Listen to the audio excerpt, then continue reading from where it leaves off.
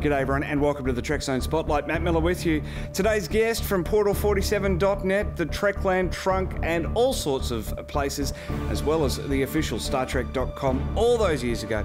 His name's Larry Nemecek. He's the authority in all things Star Trek. He's joining me today to discuss the brand new Star Trek Discovery trailer.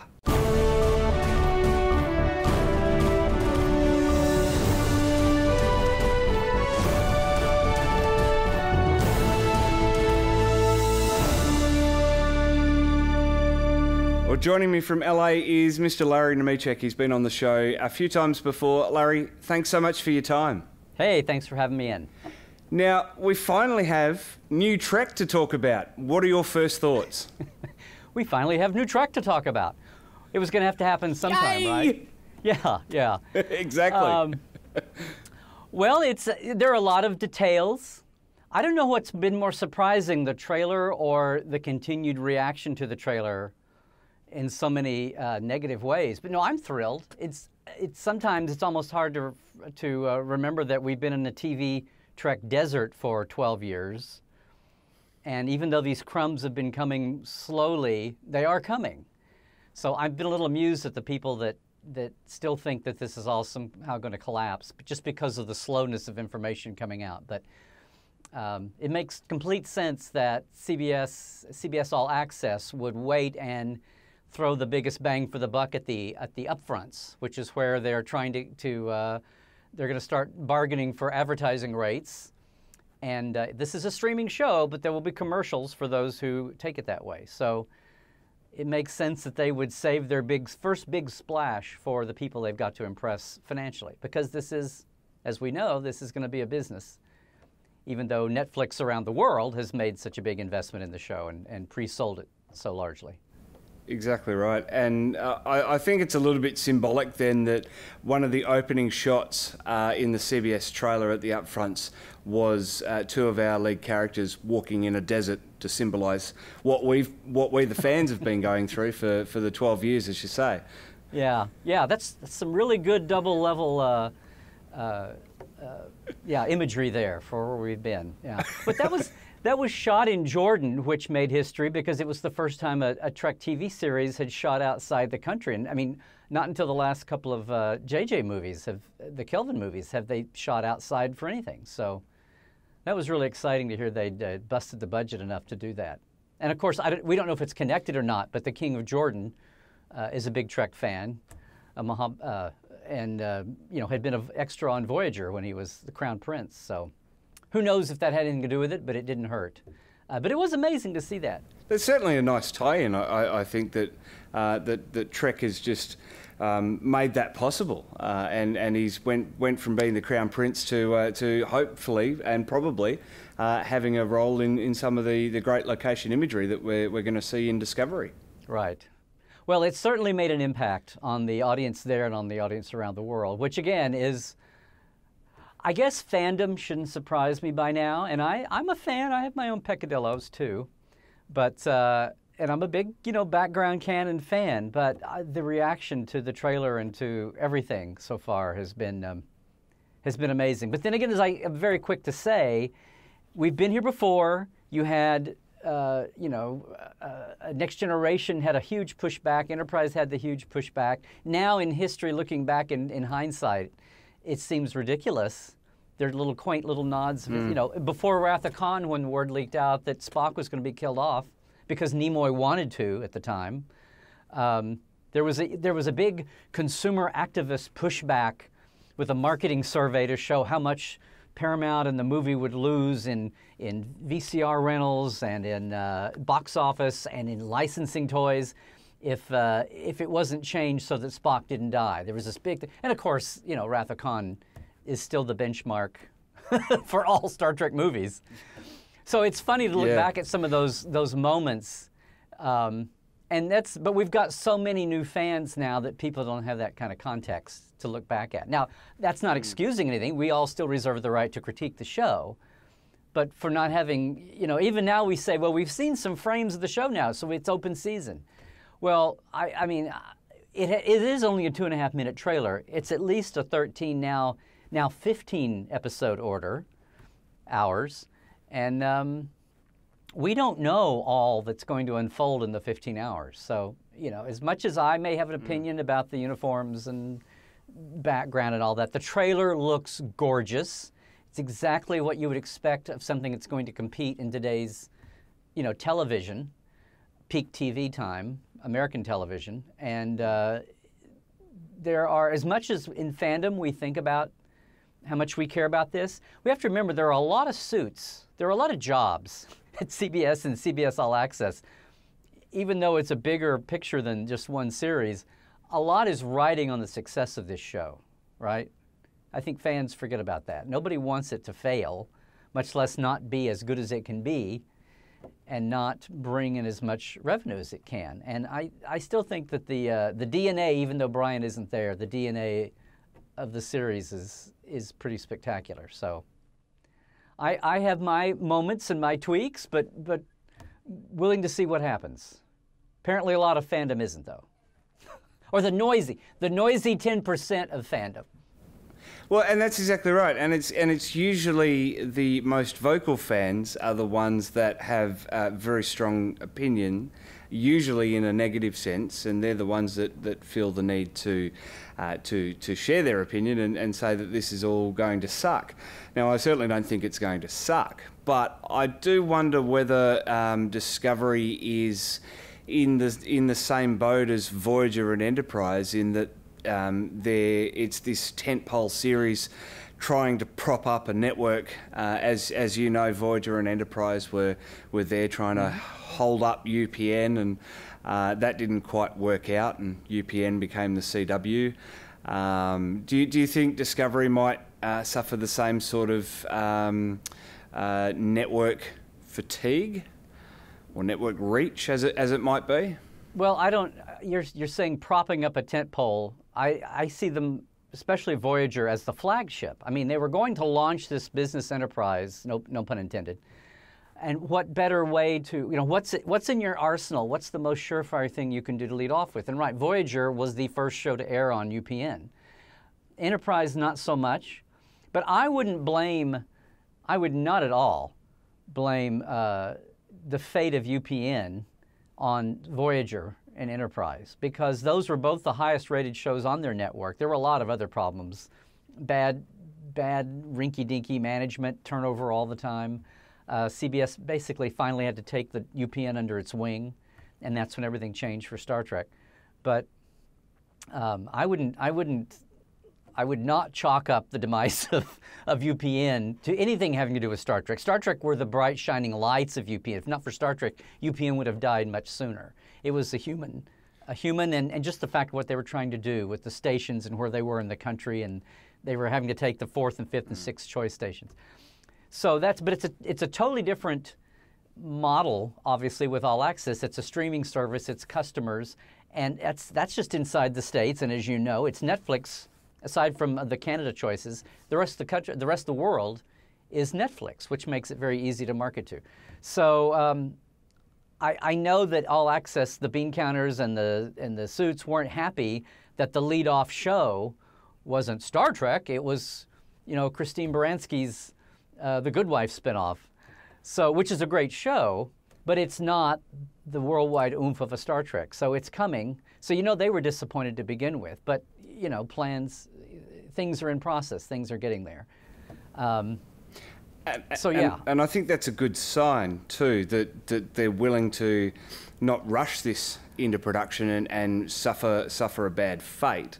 Uh, that they that they want to get this right, and um, after a couple of different premiere dates, they've sort of uh, CBS has sort of closed off now and said it'll be released when it's released. Um, what's your tip on on a release date? or a release time. Right. Well, that's the, that's see that that's why I don't get this fan meme, you know, among the five percent, the loud ten percent, uh, that CBS hates this show. If they hated it, if they hated it, they wouldn't have commissioned it. They would have pulled the plug, and they for sure would have said, uh, with all you know, with with with the delay problems and Brian leaving, uh, American Gods competition, all of that there would have been a, you know, hey guys, launch on January or you're out of here. You know, and then okay, we gave you one shot. Get it out the door by May, or you're out of here. We're, we're pulling the plug. That has not happened because everybody gets it. At least on the business bottom line, we're fans. We're all all embroiled in the in the canon and the look and the visualizing and the storytelling and what's going on there, and that's cool. That's passion, but there is a bottom line, you know, business angle to this, and I think unlike times in the past, there'll always be people who don't get it, who are nonetheless in a gatekeeper position, but they seems like they have given an awful lot of, of patience to the creatives in this case, uh, even as it's taken a while to get the show together. I mean, I, I laugh. I say, like, you know, I've heard rumors that they recast the lead to Voyager before it got off the ground. Yeah, that's right, Genevieve. You know? uh... Yeah, Genevieve Bujold. I, uh, I, I'm being facetious, but you know what I'm saying. We we forget so, the minute some controversy of the day blends into you know golden sentimental history, it just kind of all gets swept up into the great tapestry of Star Trek. But in the moment, right now, these things are, you know, screaming headline, red alert news headlines. And soon, you know, a year yeah. from now, that's what the, a year from now, two years from now, will this make a difference? Will any of this that we're, that's occupying so much airtime uh, in web space, will that really make a difference? I mean, it'll make a difference in some ways. Somebody will be cast and somebody's not. Some angle, some what if road will be taken and another one won't. And those will all be fun to deal with. But in the, the bottom line of the storytelling and the show telling, this is just taking up empty air because people are passionate and they're impatient. And of course, and if nobody cared about the show, we wouldn't be doing all this anyway, right? That's right. Well, there's something at, at, uh, I've decided at Trek Zone that um, all of these little articles that are coming out. I know there were changes to the visual effects team, and uh, earlier on, Brian Fuller leaving. All of these sort of. I mean, Brian Fuller leaving is a, is a bigger story that that I covered, but all these other little ones, just uh, as you say, they're inconsequential and it'll be released when it's released, and, and it'll look as it'll look. Um, and there will be that 10% that'll, that'll absolutely hate it, and there'll be some other people like you and I that are sort of raising a, a Vulcan eyebrow to it and just going fascinating, uh, especially in some of the looks uh, of the characters and the sets. Uh, and I want to dive into that with you, Larry. I want to, I would love to hear your thoughts, um, especially uh, on uh, the elephant in the room, those Klingons. What do you think? See, here's what's here's my thing. we've we've obviously Klingons play a big part in this now 15-hour uh, arc.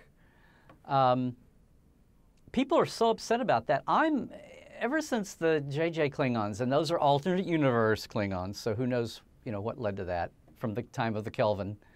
Um, I'm willing to say that there's all kinds of. If the Klingons have really occupied a homeworld and colony worlds and been around for hundreds of years, I'm willing to stake some species diversity. I'm willing to take, you know, a little bit of new creator uh, stretching their wings creativity, right? But I'm willing to say, especially when it comes to the costumes and the uniforms or whatever you call that, um, we're in an earlier time We've already come up with the, you know, it took 25 years to come up with the smooth head, bumpy head answer in enterprise, or even the debate about whether to answer it or not, right? Finally, finally mm-hmm. found a way in enterprise and the wherewithal to do that and the people to bring it off. Um, and the retconned explanation of all the smooth heads in, in the original series of the 60s being being selected, being kept that way for interaction with, federa- with humans and the Federation. If you want to kind of go there, that's fine. And then I know the motion picture was only two years later after the last filmed episode in, in you know, universe, in canon time. But you know, you can play with that and massage that, like I do with my column in the in the official magazine. I'm, but uh, you know, I don't think they're that different. I mean, you can get down and say, obviously, well, this was manufactured. This prosthetic is different than over here. I'm willing to see some species diversity because if we've got that many planets, that many worlds, and if a current meme, if, if Game of Thrones is so is such an, an effect on current television, that scope and that epic epic quality. You know, for years people have said, fans have said, "Hey, man, a Klingon miniseries would be great." Well, if you're gonna if you're gonna show Game of Houses, more or less, wouldn't a little bit more species diversity help that? I mean, I'm totally fine with the Klingons. My, my God, they did the they did the obviously the uh, you know the yell to Sto-vo-kor at the funeral service. That's all intriguing parts of the story that will eventually be made clear. But I'm I'm fine with the Klingons. I have I have more worry about some of the Starfleet aspects, and I say worry, concern. I keep hearing uh, that we're not everything in the trailer is not all is is there's far more to the saga to the look of it than what we're seeing in the trailer. So that's an interesting one. Uh, mo- moving into the bridge. Uh, it's certainly for, for something that's that's uh, pre or ten years before Kirk, Spock, and the Enterprise. Uh, it certainly is a, a, a, radical departure from from what we've established uh, in the original series. But there again, do you think that? I mean, there are all sorts of different classes of starships, just as there are all sorts of different classes of uh, sailing vessels here on Earth. Um, do, do you think that there's that there could be you know, I mean, if you wanted to get really fanatical, as, as we are, we, I mean, we're big fans, sort of saying that, that Starfleet went in one direction with bridge design uh, during the war, it needed to be more functional, like the Defiant. Uh, and then when they came along to the Enterprise, they had these exploratory vessels in the Constellation and the Constitution class. Um, what are your thoughts on the bridge? Well, we can, you know, there's there's a certain amount here that uh, is, like I said, is new creators flexing their muscle. Um, I know. I know. Well, the Kelvin, the Kelvin aspects of Star Trek 09 were supposed to be prime timeline. Now, people had issues with that because the Kelvin bridge is 30 years before Kirk, 20 years before Pike's bridge, and it's you know, yes, it is 40 years later in production uh, reality and that's a hard you know that's a hard balancing act to go through. Enterprise did the same thing back in 2001 how do you do a modern show? Mm. this is the eternal question. How do you do a modern show and um, resemble uh, a technology that's supposed to be in real time years beyond it but in, in actual earth time tv time you've got access to tools and procedures and, and a look right? A technology that just mm. automatically you fall out of bed and it seems like it's more advanced. How do you how do you combat that and resolve it well, I, I, it's, it's hit me that part of this is just going to be the direction people are given because the hardest thing in the world is to tell create like designers, you know, of all the different guilds and areas. Okay, um, here it is 2017. Now go do this the way it was done in 20, you know, in 1964, say, for the cage.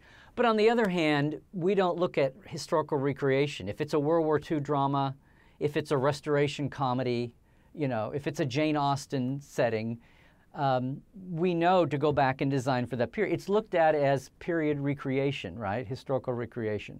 So there's kind of a battle in Star Trek in production of whether you're going to approach it as historical recreation of the future versus just turning creatives loose to see what you can do in the current situation with visual effects and, and set dressing and interface and live live set effects.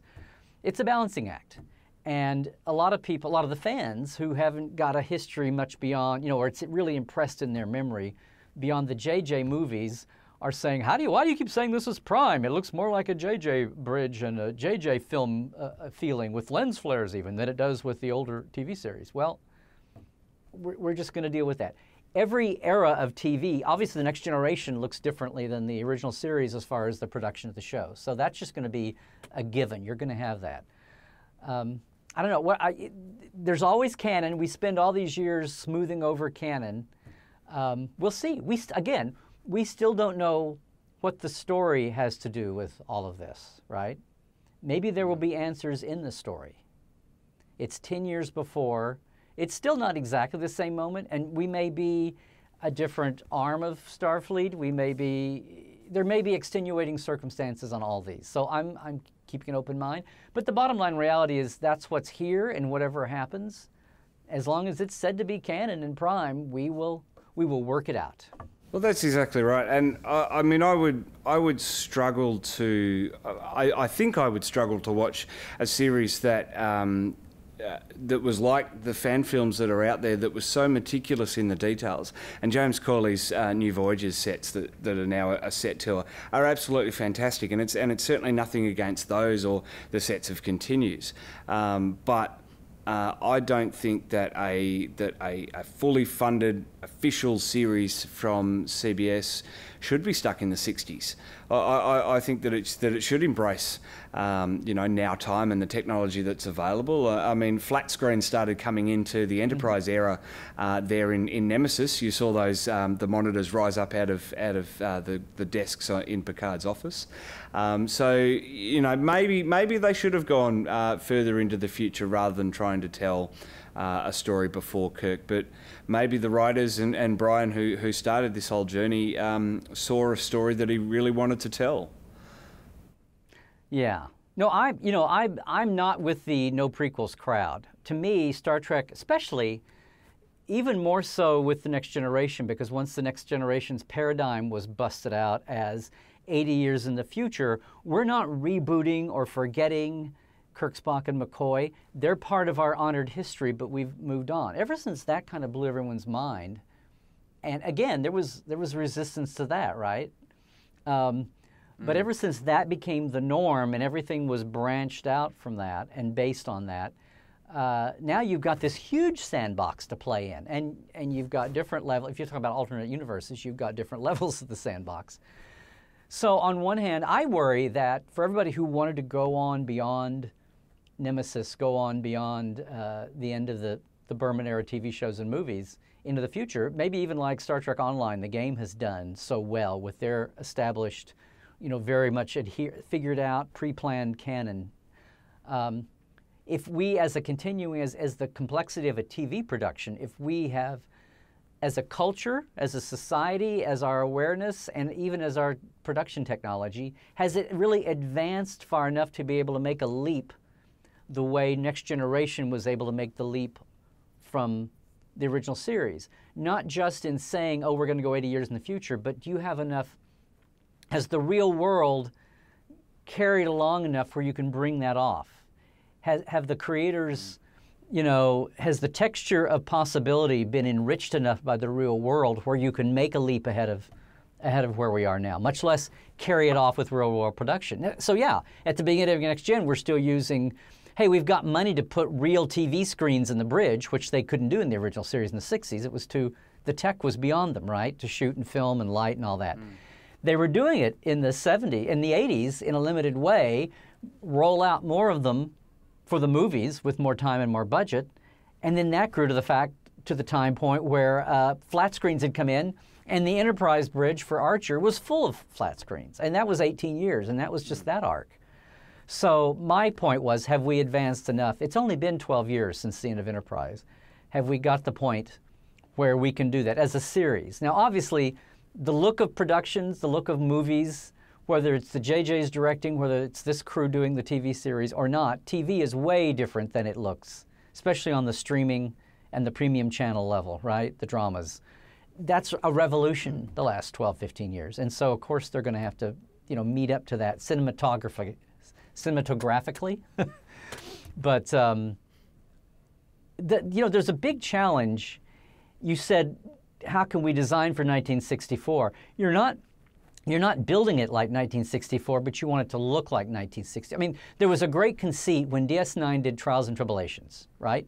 That was 30 years. They were honoring the 30th anniversary, but it was 30 years of production. So they wanted to have live models and show the Enterprise and show a D7 Klingon orbiting K7. Well, they didn't have the original models, they wouldn't have worked. What they did was, the conceit was to build the models with enough detail that, you, that, was, that was possible at the time, so that if you took a long shot, it would look exactly the way it did in 1967. But when you pulled in close, you would see all this detail. It didn't mean that the detail wasn't there in 1967. It's just that we couldn't see it, right? But now that we're able to get closer, we see that level of detail. And that's the same, they brought that to the bridges, especially the bridge set they did for In a Mirror Darkly on Enterprise, right? It was the Defiant, but it was an Enterprise bridge. And there was more, you know, those static graphics just scream low budget, but they were actually able to introduce some low motion into that. So my point is, if you think of it as historical recreation, you don't build it the way they built it originally, but hopefully the effect comes off as the same. What you, what, where you use your creativity is to bring to bear all the tools that you have now to make it look that way. Now, again, um, at least on the surface, at least what we're seeing in the early scenes, that's not the route they went into. So eventually we'll be doing a, a retcon, right, for this. Because I really think that Star Trek is a classic show, it's classic sci fi, it's obviously a franchise that created the, no- the notion of franchises. There's some reason why it's been around 50 years. I used to call it the five C's of Star Trek. And, and but the fifth C, even though we love to make fun of it, we're all guilty of it, is canon. And I don't think Star Trek would. I mean, people love Twin Peaks and MASH, and much less Star Wars and Doctor Who, and Harry Potter. But uh, as far as the the franchises with longevity, there's still nothing like Star Trek. I mean, Star Wars has been expanded by the expanded universe. It's there in the name, right? And there's the controversy about what that is these days. And now ABC Disney's about to roll out an awful lot more f- actual filmed Star Wars. And good on them. But there's still 740 something hours of film Star Trek uh, that just blows all of that away. And there'd, pro- there'd be that many hours of Doctor Who if they hadn't erased half the tapes in the 70s, 60s. That's exactly right. right. Well, Larry, we're fast out of time, uh, so I'm going to give you the final word. Um, final word on, on Star Trek Discovery. Uh, your final thoughts uh, on on this trailer. Looking forward uh, to the series. I am excited, guys. I am so excited. We will deal with all the canon issues later. I have all the faith in the world in Brian's blueprint and in Aaron and Gretchen's team of writers and the designers they've done. You can tell the actors are excited. They're all thrilled to be part of the family. And I think the great silent armchair fandom majority out there is excited too as soon as they hear about it. And I think a lot of the things we're arguing about right now will may still be around for a while, but I think once we get in the meat of the shows, we'll have the we'll have the critiques and the feedback that we need. But you know, fandom's fandom. It's going to happen. So I say, let's bring it on. Let's just get it here as soon as we can.